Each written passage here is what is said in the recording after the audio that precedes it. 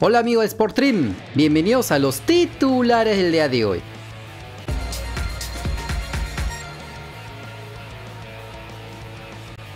En las últimas horas salió la información de un nuevo futbolista extranjero con ascendencia peruana que podría dar el gran salto a una liga de primera división europea. Se trata del austriaco peruano Mateo Stickler. Si no se conoce de él, es porque no retumba en las redes sociales con goles o asistencias, y por ahora no juega en una liga profesional, aunque pronto sí lo podría hacer. Pero ¿quién es este jugador? Es un futbolista de 18 años que juega como lateral por izquierda con mucho potencial, aunque también puede jugar por la banda derecha, ya que es ambidiestro, así como Oliver Son, por lo que bien podríamos llamarlo como el nuevo Colorado peruano, ya que es un compatriota por parte de su abuela, la reconocida actriz Camucha Negrete. Bueno, la noticia bomba es la siguiente.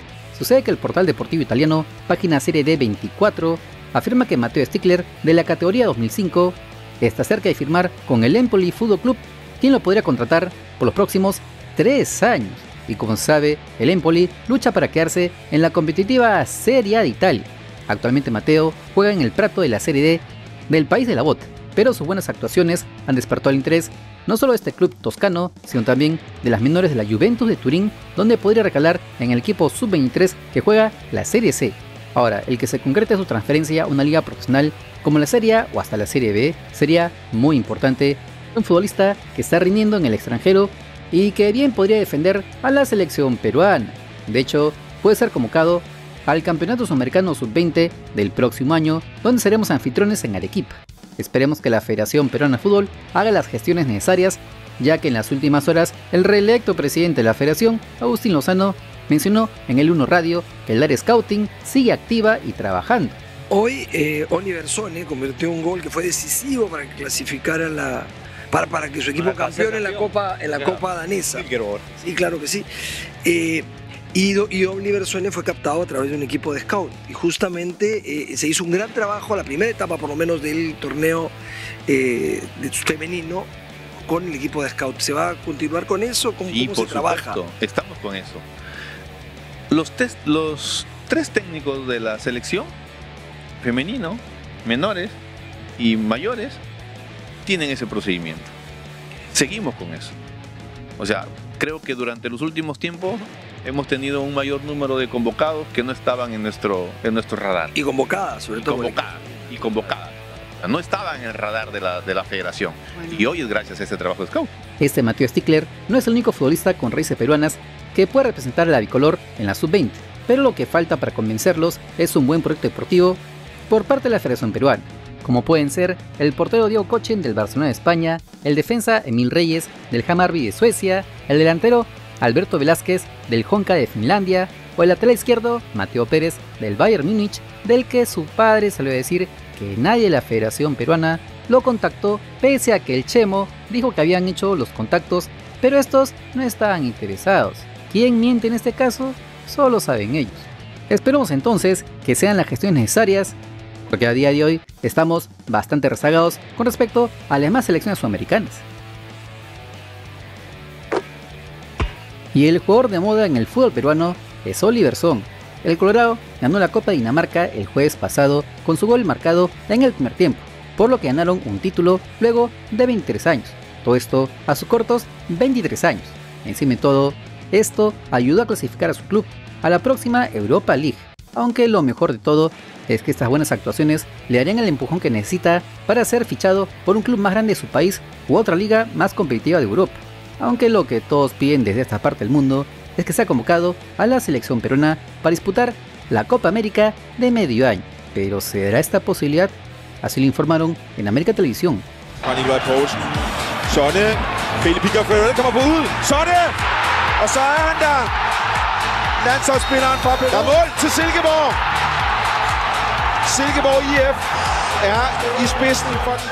La corona del príncipe danés. Oliver Sone ganó su primer título como profesional, marcando el gol del campeonato en la final de la Copa de Dinamarca, en el mejor momento de su carrera. Luego del pitazo final, explotó con el júbilo de tamaño escenario.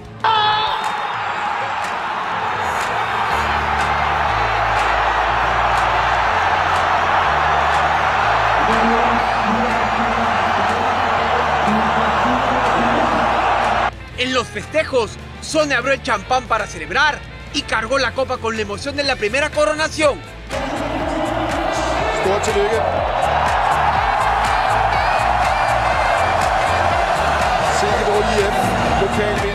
Con la sonrisa de campeón, expresó toda su felicidad. Er er er,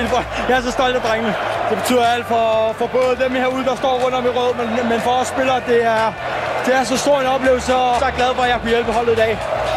Con el trofeo ganador, el futbolista de la Blanquirroja posó orgulloso. Su novia evidenció en sus redes sociales el amor que siente por él. La Federación Peruana también lo felicitó por tremenda conquista.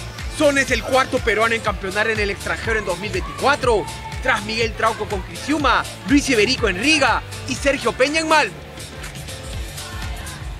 Y continúan las celebraciones, por supuesto, los festejos después de 23 años que Silkeborg obtenía un título en la plaza de la ciudad con gran cantidad de gente. Claro, habían ganado la Liga Danesa en el 94 y el 2001 la primera Copa de Dinamarca. Ahí está lo que es habitual, ¿no? El equipo campeón en el estrado o en el balcón frente a los centenares de hinchas festejando del club. Desde el 2001 que el Silkeborg no podía levantar un título en Dinamarca, sino que consigue de esta manera el pase a la Europa League de la siguiente temporada. Con ello llega un premio también de 3 millones de euros para el club del vikingo, como también se le conoce a Oliver Sone, que se espera que pueda estar en la lista de la Copa América. En la prelista se encuentra.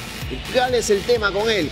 Que hasta ese momento solo hay 23 futbolistas o solo la organización permite la inscripción de 23 futbolistas. La segunda quincena de este mes habrá un congreso FIFA donde se espera que se amplíen las vacantes a 26 y ahí las chances de Oliver Sone puedan estar presentes para vestirse de bicolor también en el torneo continental que se va a desarrollar en Estados Como se recuerda, el danés peruano estuvo presente en la fecha FIFA de marzo, donde no convenció al técnico Jorge Fossati. Pero ante las recientes informaciones del aumento de futbolistas a inscribir a la Copa América de 23 a 26 jugadores y sobre todo los problemas legales de Anipolo en Estados Unidos podrían abrirle de par en par las puertas de la blanquirroja en el mes de junio. Lo que sí es cierto es que el vikingo peruano se encuentra a la lista preliminar de la bicolor al máximo torneo de selecciones de Comebol. Veremos si el nono desea incluirlo en la lista definitiva a entregarse el 26 de mayo. Y las novedades en Alianza Lima siguen a la orden del día. Como se sabe, el equipo íntimo viene siendo duramente cuestionado por no poder ganar el miércoles pasado en la Copa Libertadores a Cerro Porteño, donde ya les mostramos las opiniones de la respetable hinchada blanqueazul a la salida del estadio Matute. Pero lo peor de todo es que tampoco han podido pelear el torneo de apertura hasta la última fecha, por lo que las críticas han sido mucho más agrias, donde entre todos los señalados como culpables de este fracaso es el técnico colombiano Alejandro Restrepo, donde incluso ayer les avisamos que otro ex entrenador de Alianza Lima está en el estadio, Palo Bengoechea, y si bien se sabe que el DT colombiano por ahora está firme en el cargo, los resultados en la recta final de este primer semestre del año podrían ser el que lo mantenga en el puesto o lo saque definitivamente. Sin embargo, ante el torneo local perdido, muchos hinchas blanquiazules apuntan a darlo todo en la Copa Libertadores. Así lo afirmó el periodista deportivo Fernando Usquiza en Latina Deportes. Alianza Lima continúa alargando la peor racha de partidos consecutivos sin ganar de local en toda la historia de la Copa Libertadores. 20 encuentros en 12 años, desde el 2012, cuando venció por 1 a 0 a Nacional de Uruguay. Si nos remontamos a su último cotejo ganado en Matute, tendríamos que ir hasta el 2010, en el 1 a 0 ante Bolívar con gol de José Carlos Fernández y un triunfo en sus últimos 39 partidos en el torneo internacional es otra de las cifras que preocupa al elenco victoriano.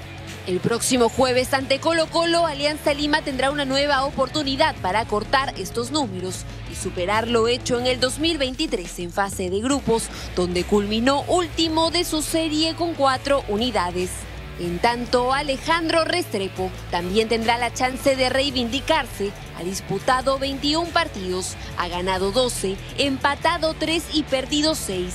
Es decir, tiene una efectividad del 61%, la más baja a nivel de técnicos del cuadro íntimo, si consideramos los últimos tres estrategas blanquiazules, Mauricio Larriera, Chicho Salas y Carlos Bustos.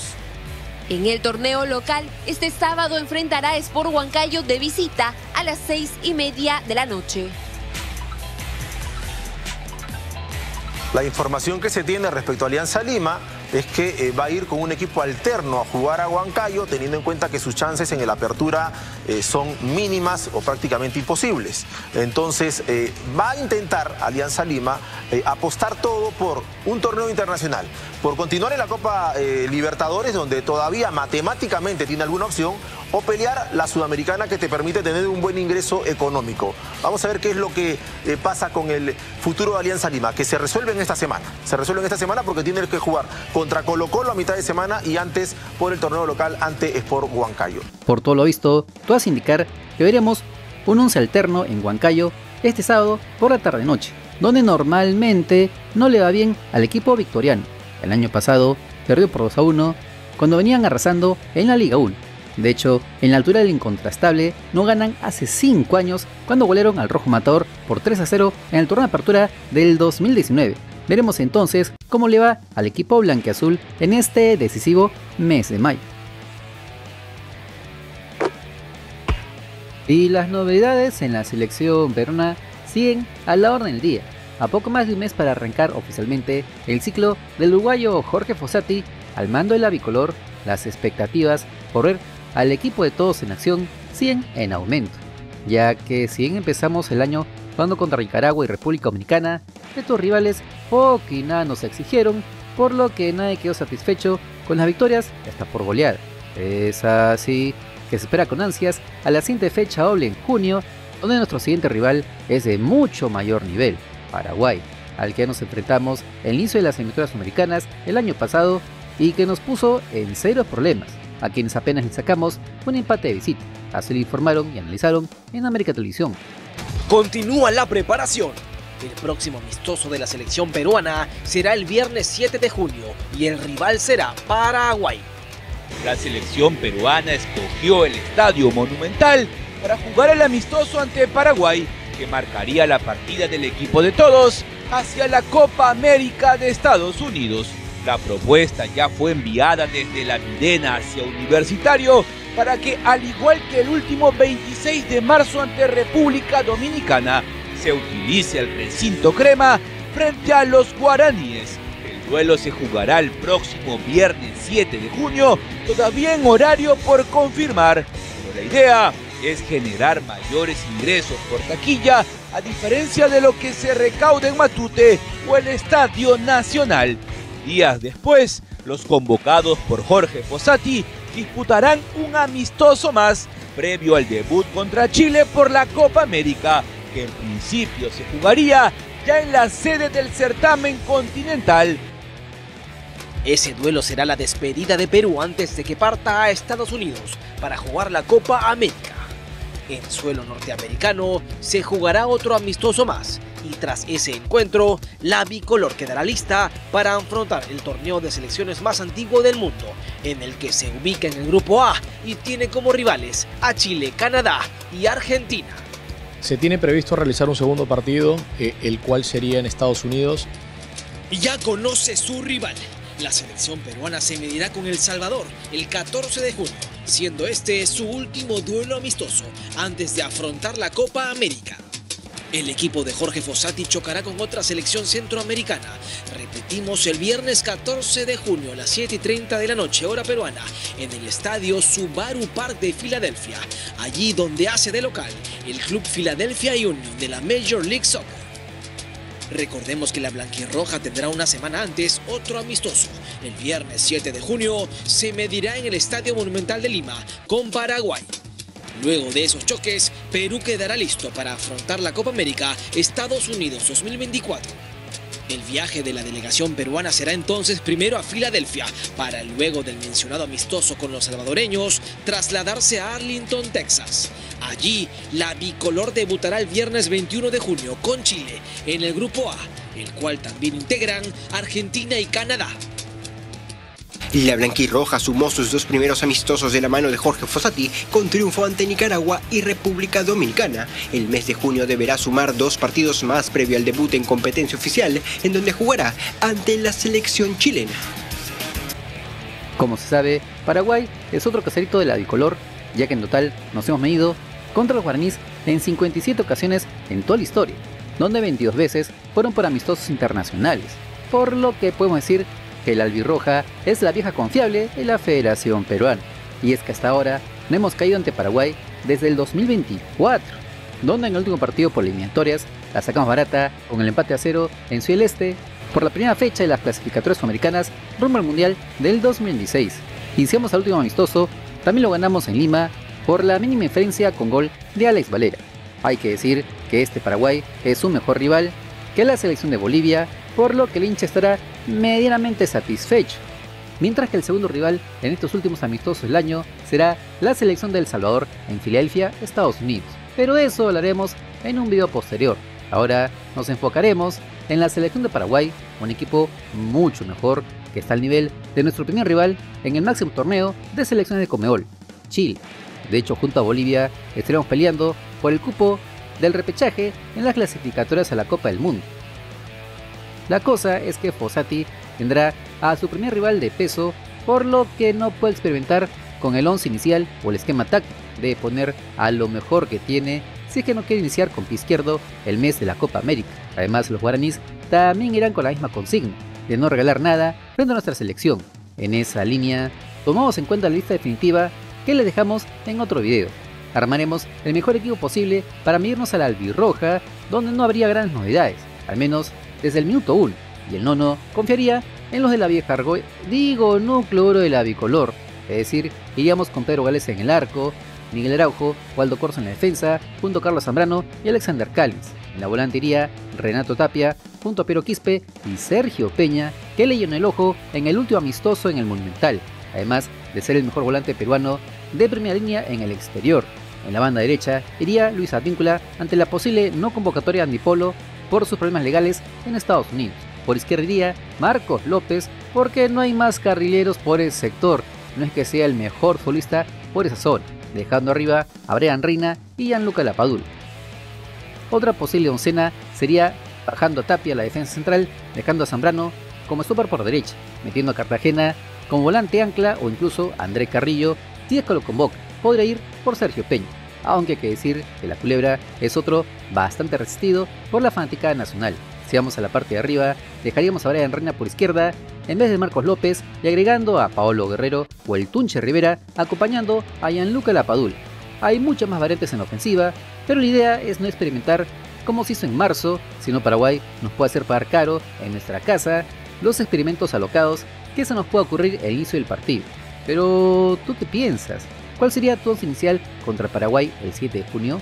Ya sabes que los comentarios son todos tuyos.